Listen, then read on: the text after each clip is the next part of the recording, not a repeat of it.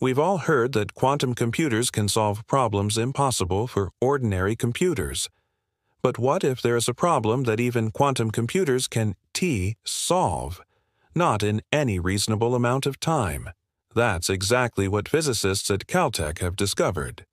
They found a question that breaks the limits of even quantum logic itself, recognizing the phase of matter in an unknown quantum state.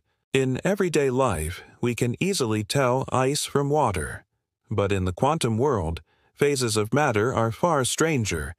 They include things like topological phases, where particles behave as if space itself is twisted.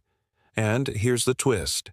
When a quantum system becomes complex enough, the time it takes to recognize its phase grows exponentially with its internal correlations.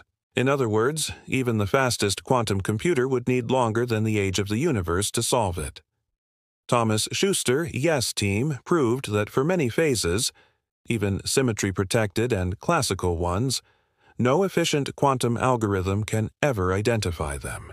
Some aspects of quantum reality are simply unreadable. Their conclusion, there may be limits built into the universe, boundaries that no observer, no matter how advanced, can ever cross. Quantum computers might not reveal every secret of the cosmos, because some truths are designed to stay hidden.